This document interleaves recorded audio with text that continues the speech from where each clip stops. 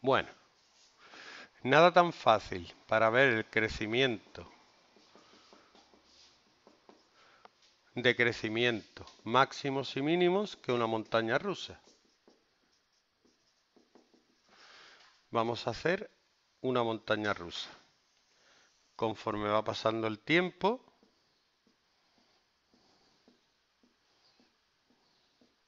está a una altura determinada, poner 100 metros, 50 metros,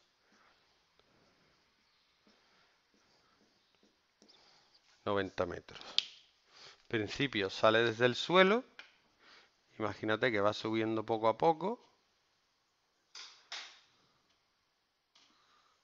y luego tiene una curva grande hasta que llegue aquí. Y luego cae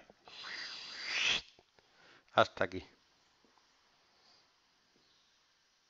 Luego hace una curva en horizontal y luego una subida más larga y luego otra subida más larga hasta llegar a los 100 metros y luego cae.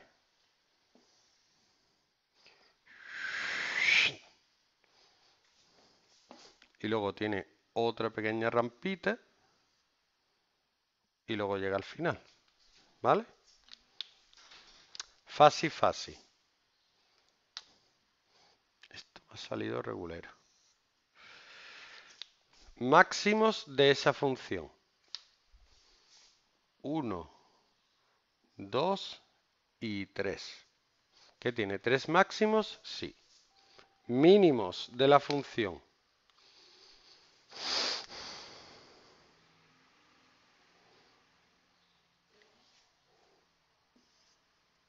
uno aquí, otro aquí y ya está, ¿no? ¿Mm? Ya está. Bueno, pues habría que poner máximos. Hay que poner el punto. ¿Esto es un mínimo? Sí, es el mínimo mínimo. Pero normalmente las funciones que te dan, como son seguidas, pero no, si tendría uno aquí y otro aquí. Máximos. Un máximo sería, vamos a suponer que estos son 10 segundos.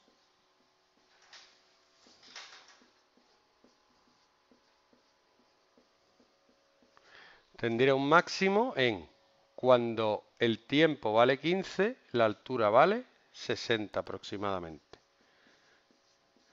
Otro máximo sería cuando el tiempo es 50, la altura es 100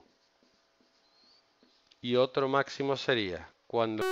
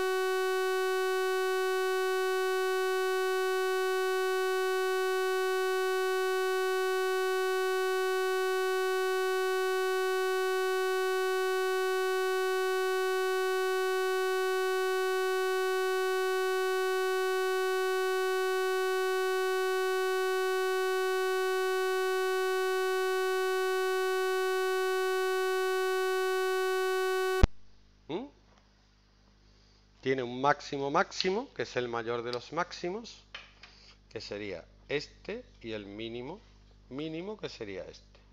Y luego hay que decir cuándo crece y cuándo decrece. El crecimiento sería, mirando en la X, crece desde 0 a 15. Yo siempre pongo el primero cerrado y el segundo abierto. Luego crece desde 20 a 50. Luego crece desde 70 a 80.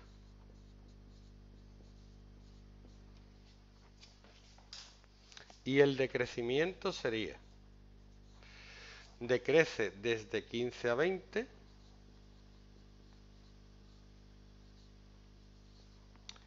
decrece desde 50 a 70 y decrece desde 80 a 100. Y ya está. ¿A qué es fácil? Chupado. Y queda una cosita nada más.